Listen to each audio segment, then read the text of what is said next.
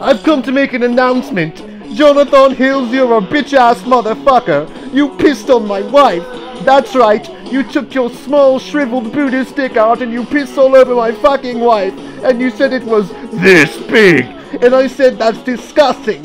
So I'm doing a call-out post on my twitter.com. Jonathan Hills, you have a small dick. It's about as small as this walnut, except way smaller.